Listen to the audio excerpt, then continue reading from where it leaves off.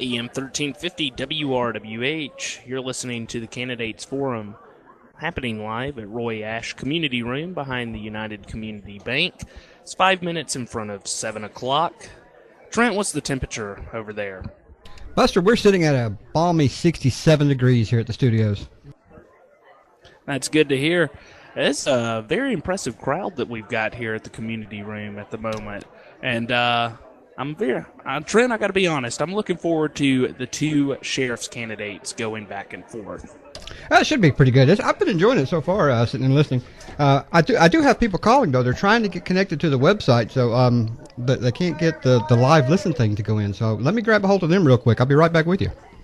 All right. And uh, the website that Trent's speaking about, WRWH.com, you can go there. You can click listen live, and it looks like the action's about to come back into effect. Everybody was taking a break. I'm going to turn it back over to Billy Chisholm.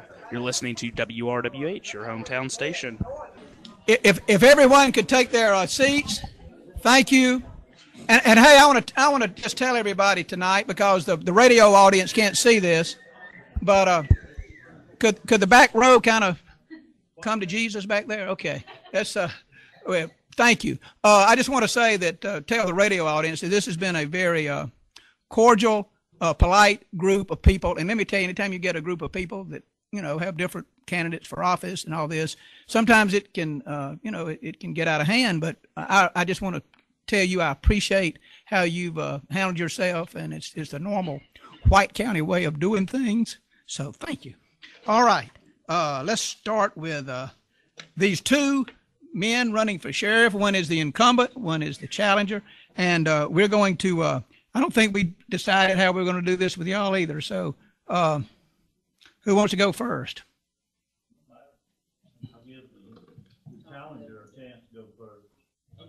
Okay. Uh, th- this is Aaron Autry, and he's uh, running for sheriff. And after he makes his opening statement, uh, Sheriff Walden will, will make his opening statement, and then we'll go from there. So, Mr. Autry. I see a lot of familiar people in this room, so I'm gonna I'm gonna start like I don't know anybody. My name is Aaron Autry, um, lifelong resident here of White County, born and raised. Uh, been in law enforcement for 22 years. Started out in White County in 1994 as the first and the youngest 911 dispatcher ever hired. Um, went from that to working in the Hall County Detention Center. And then I came back to Cleveland, worked Cleveland for a, a short stint, then for Forsyth for a short stint, and then I came home. Uh, I was a deputy sheriff here for Sheriff Walden for 12 years. Um, during that 12 years, I had a two year break that I was a canine handler for the North Georgia Canine Task Force. I worked for about seven to eight sheriffs, and that was a headache. But no offense, Sheriff. They're great people. They were great to work for. When I came back, um, I had Jaeger. Sheriff Walden purchased me Jaeger with some drug seized money, and we started making some licks on some drugs in White County. Um, I'm looking forward to an opportunity to have a drug dog or two drug dogs back in this community to try to hit that again.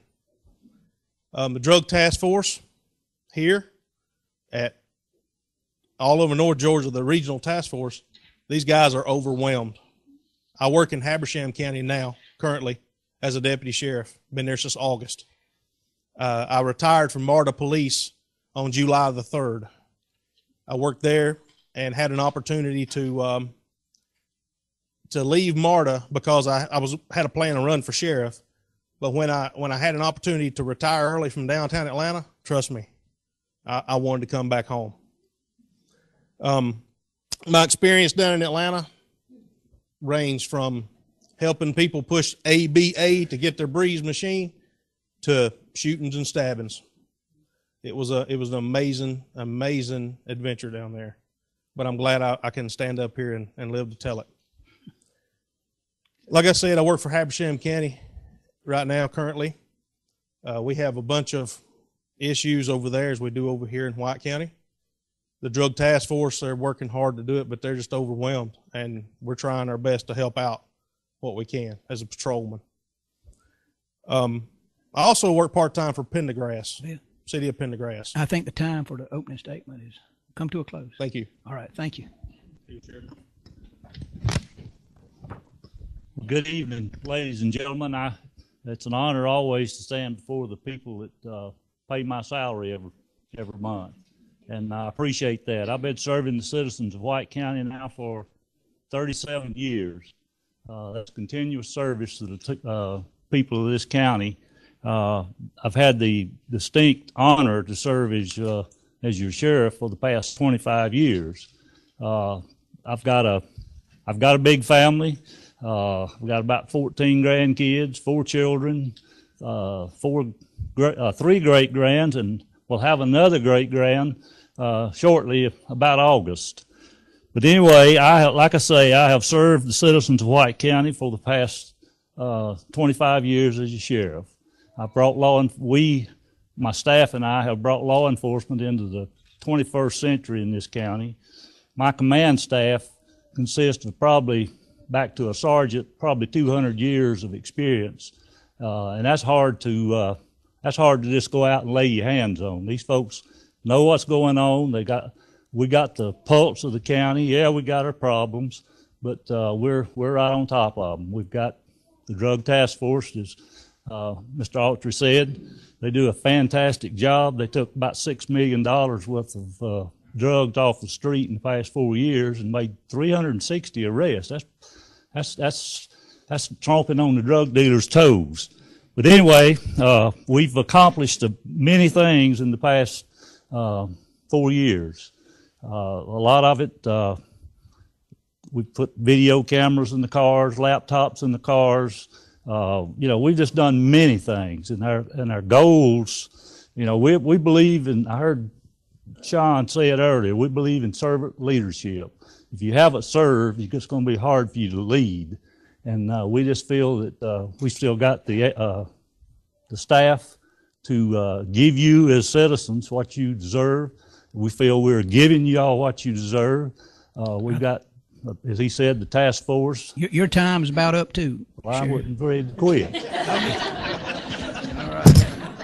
Okay. Thank y'all. I Appreciate the opening statements. And now we're going to go with questions. We'll ask uh, each one a question. If y'all could just keep up with who goes first, and then y'all just flip flop back and forth. Uh, yeah. Uh,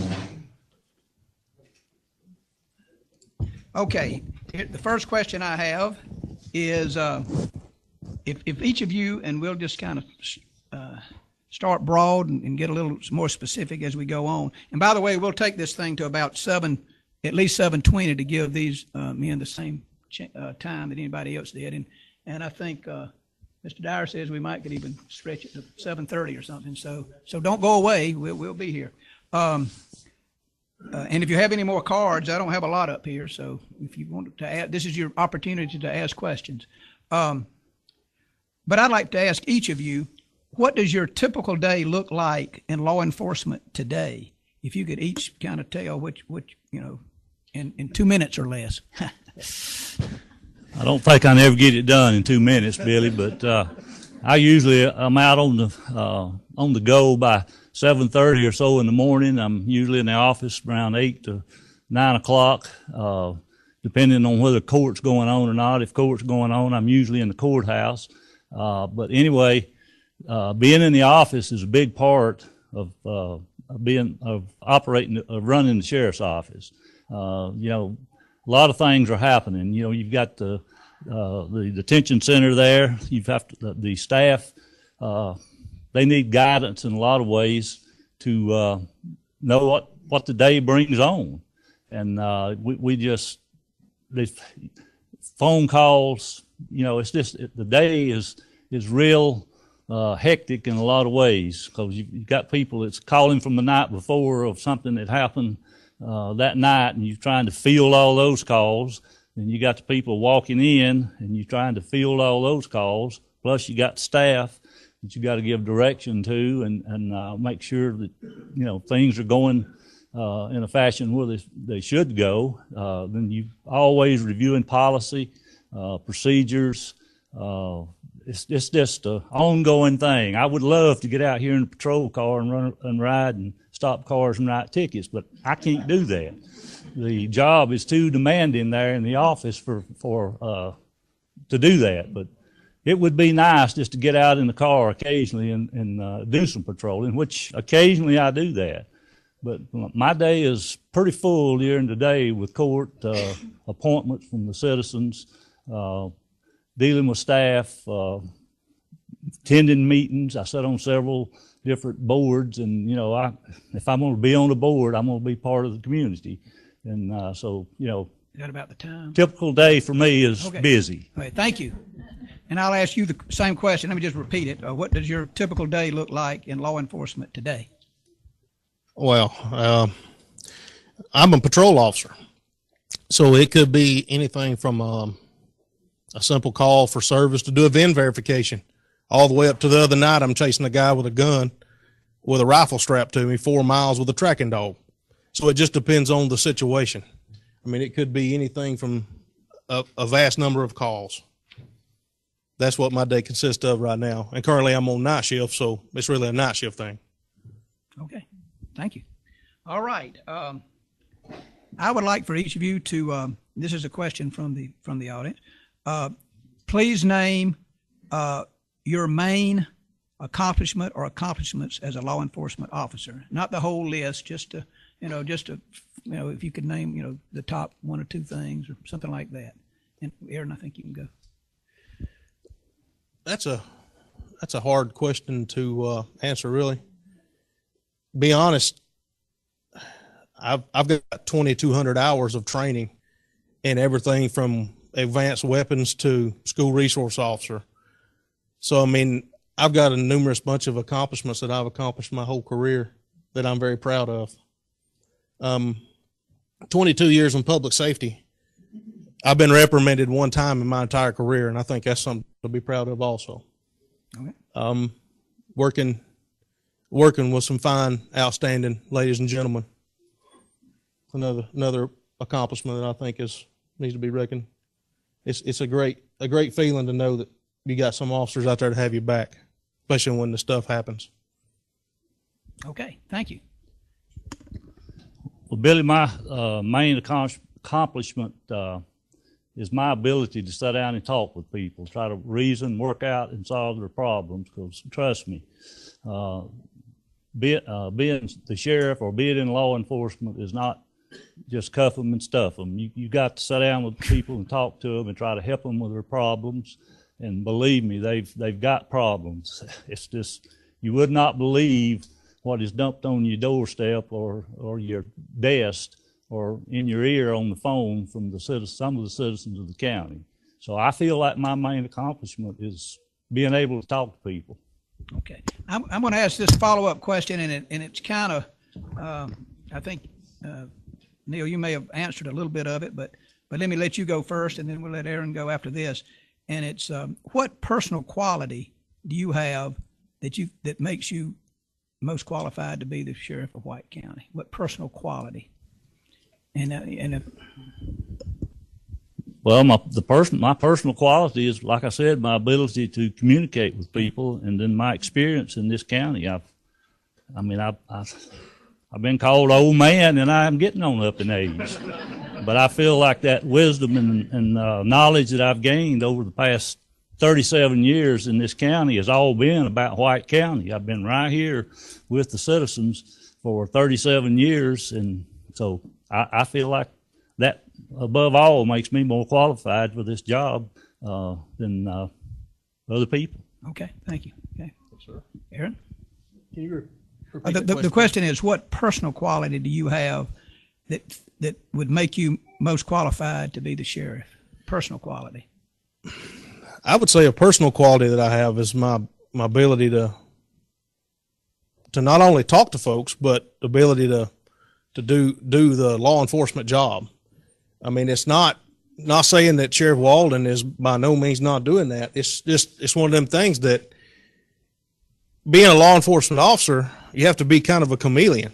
You have to you have to be able to to go forward and reconcile with people about a problem that they're having, and then you have to be able to come up and slam somebody to the ground if you have to. I mean, it's just one of them things that you, you have to, you have to be able to work in a, in a big realm. It's not just one particular thing. Okay, thank you. Okay, uh, next question. Um, As Georgia examines criminal justice reform, what areas do you see in White County that might need reform? I I think in the reform, I see some things that I think that we can work on as a sheriff's office um, to try to help rehabilitate folks. I think that we need a work release program, and that work release program, if you if you sentence a man or a woman to a, a child support and you suspend his license, how's he going to be able to do that? How's he going to be able to work, pay for his the kids that he's already got or the kid that he's paying child support on or his family. So if we, if we take a work release program, which will pay for itself, and I have a way to do that, this work release program will help, uh, the person that's being sentenced to it. Maybe will help reform them, but it'll also help benefit their family. Not only their family, but the kids. So I, I think that would be an issue that we need to address. I think that would help more than anything. Okay, thank you. Sheriff? Repeat the question. Bill. Okay, as Georgia examines criminal justice reform, what areas do you see in White County that might need reform or that needs reform? Well, to start with, I wasn't totally in support of Georgia's uh, reconstruction there. Uh, I think they've let let too many people out of jail with it. However, uh, the courts here in White County, we've got several different alternative courts in White County. We've got the mental health, uh, drug court, and then the uh, all, the uh, family court, which is handling the uh, child support cases that he referred to, and and that is keeping these folks with their driver's license, putting them in these courts, and the courts are requiring them to do X, Y, and Z, and uh, collecting the monies for these parents that uh, these kids belong to, and uh, saving their driver's license. You know, we could, we don't, we had probably 102 people in jail today. 90, 90% of them was pretrial. The other 10 there were sentenced inmates. Those 10 inmates were working in a work detail there around the jail at the animal control. So we're utilizing every inmate that is sentenced in the county jail. And if you'll go back and look at the, if you, how many of you believe in the Constitution of the United States? If you go read the 13th Amendment, it plainly says you cannot work a pretrial inmate. So yes, we've got a lot of inmates sitting over there, but those inmates have not been sentenced, so therefore they cannot be worked. I, I love you. I love you all. They ain't going to jail for you. and I'm not going to violate the law in doing that. So, uh, you know, I think we're, I think we're okay so far as where we're at in this county with uh, the way we're uh, handling the business. We, uh, I am looking at a program through the courts and uh, not talked a whole lot about it simply because I didn't want it to be part of a political issue here. But uh, I'm trying. I'm asking the court to uh, designate my office as a, a community service uh, agency, whereas we can take these community service workers that the courts are sentencing. That a lot of them are not completing it and winding back up in jail just because they didn't finish their community service and put these folks out here on the road picking up trash and doing this kind of thing. So there's a lot of things in, in play. Okay, okay, your time just ended just right. Okay, uh, here I, I can't pronounce this word, so y'all help me with this. It's it's it's a hot topic right now. Deaths from is it op- opioid? What is the not opium, but opioid. Deaths from opioid overdose has been termed an epidemic. Is this like oxy? Android, opioid, rhymes with Heroin. Android. Opioid. Okay. Um, I guess y'all know what that is. It's it's some kind of oxycodone or something. I don't know. Heroin, Yeah, okay. Deaths from this overdose have been termed an epidemic. I don't mean to make light of it. Uh, Nar- Narcan is an antidote for overdose and can be is an antidote for and can be made available to be used by county deputies. what is your position concerning making this uh, Nar, Nar, is it Narcan or Narcon? Narcan available. What is my position? Yeah. My position, I'm not, um, how should I say it? Uh, law enforcement as a whole right now, they've got so many tools in their tool belt, it's pitiful. We're giving them another tool to make a decision as whether to use it out there or not. Uh, I don't recall maybe two cases we've had along those lines with heroin in this county. And our EMS, our ambulance service, uh, uh, all those buses they got up there carry this stuff on it. It's been on it for years. They're normally the first ones uh, there in, in, in most cases. And uh, I'm not opposed to doing it. Uh, in fact, we've talked about it. Uh, we've uh, our public safety director, David Murphy, and at our, one of our public safety meetings, we discussed it in detail. We sort of put it on the back burner. till We got it run by our county attorney to uh, find out whether or not what could, what the liabilities were. I don't want to stick that in somebody and them kill over dead, then you get sued as a taxpayer for it. So we we we are involved in it. We are aware of it. We have not said no to it. Uh, it's on the table for and uh, for discussion amongst the law enforcement in the county. All right. Mr. Autry? Narcan. I carry it in my patrol car. It's in the right beside my leg in the door. I haven't had to use it. Thank God I hadn't, but I have it in case I need to. I've had the training. The uh, training with Narcan, the doctor stood up there in front of me and told everybody in the class that you, if you have an overdose, you can administer Narcan and it will not in any way affect them other than help them. It will not harm them. You cannot overdose on it. That's exactly what the doctor from Northeast Georgia told us that give us the opportunity to take the class. Uh, I'm pro for it because I feel that if we carry a weapon on our side, we're trained to take a life if we need to. I think we need to be able to save a life if we need to. That's my personal opinion. I think we need to have AEDs in our patrol cars because I got a lot of family in this room. And if, if one of my family members happen to have a heart attack, whether young or old, I think they ought to be able to use that. If I'm going to get sued for something like that, I'd rather be sued for something I did and something I didn't do, especially in trying to save a life. That's just how I see it. Okay. Um, we're, we're coming to a close. We've got a, maybe a couple more questions. Actually, this question really is, is, is only for the sheriff to, to answer because uh, he would be the only one to know this. Uh, and it's how has recidivism, which means a prisoner returning back to jail after he's already been there, how has that rate changed in your jail from the year 2000 to 2010? If you know that, I don't know. I mean, is it up? Is it down? Is it? I don't. You know. What's your thoughts? Well, that's that? going to be hard for me to just out cold answer a question. I could go back and run some numbers and probably tell you, Yeah. but just to sit here and say uh, it's up, down, medium, or what, Billy, I can't do it. I don't know. Uh, I, I don't know how. I don't know. I how don't to know answer is an your question. acceptable answer. I would t- think. Uh, well, okay, that's fine. Uh, considered a repeat offender? Is that what you're trying to say? y- yeah, yeah, people that have gone in and and and then returned back, and, and of course it all depends on you know what length of time and how many times, and so that's a you know. I just throw it out. Somebody ask it. Um, and then this is uh, uh, this is going to be our last question, and then uh, we'll give uh, uh, Mr. Autry a chance to go last. With his op- I mean, go with his opening statement, and then we'll give Sheriff Walden the chance to end it.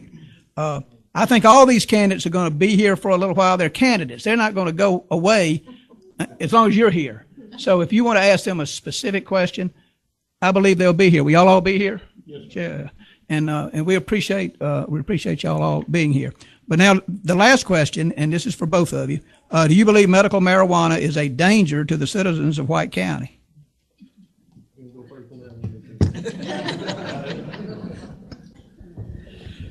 I've been asked that. Medical marijuana. Um, I, I'm not a doctor by no means. I'm, I'm a police officer. I'm not a politician. I'm the kind of person that, uh, you want to know about Georgia law? I could probably quote it to you. I don't know enough about the medical, mar- medical marijuana issue, but I do know this.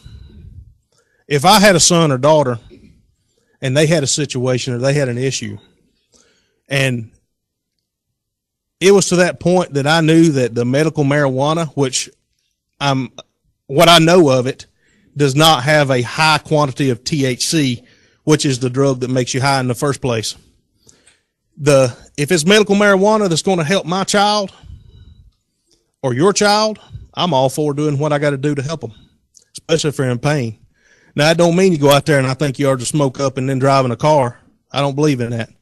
But I think that if it's going to help a child, I'm all for it. If it's going to help somebody in some pain, and that's the only pain, that's the only way they can get some relief, I'm all for it.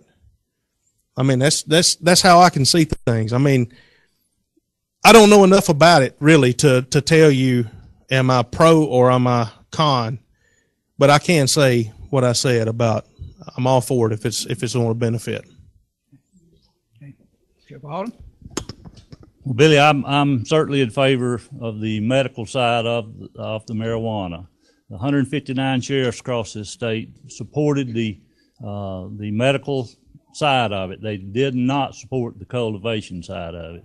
I'm, I'm against building a grow shed out here and start growing marijuana in the county. I'm fine if they want to put it down at one of the universities and use it as pro- a project there. But uh, as far as the medical side of it, I'm okay with that. The cultivation side of it, and that's the big stickler right now. They want to put up these big grow places all over the state of Georgia, and guess what? That's money in your pocket when you start doing that. And we're we're totally against that idea. Uh, the legislator legislatures uh, got our message loud and clear in, in, on that issue. Okay. All right, that'll end the questions, and now we'll, uh, we'll go to a, the two-minute closings.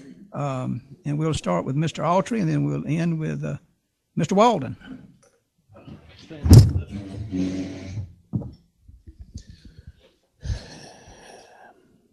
Um, I didn't come into this sheriff race um, thinking that I was going to run against Sheriff Walden. Um, I was under impression that he was going to have a retirement, and uh, I commend him on what he's done on his um, years of service. I worked for the man for 12 years. Great guy to work for. Can't knock that. Since I came out three three years ago and decided that I was going to run, I've I've had a lot of hurdles in my personal life and in my life. I worked hard for what I've got. I worked hard for what I've done for 22 years. Actually, for 41 years. I've never quit. Never. Not one time. Whether it was on a football field at White County High School or it was chasing somebody through the woods. I never quit. If I'm elected sheriff on the 24th, every one of you have my word in here. I won't quit. I'll stand up for each and every one of you. Not saying that he hasn't. But if it comes down to the point to where they want to try to take our firearms, I'm right there with you. They ain't going to do it in my watch. If it comes to a point that they want to try and, and make our county look bad, I'm going to stand up for our county. I'm going to stand up for you all. Everybody out in radio land, everybody out here. I'm going to stand up for us because this is my home. I was born and raised here. That's how I see it. That's how I see our county. It's our community, and we're all family. Thank you. Thank you.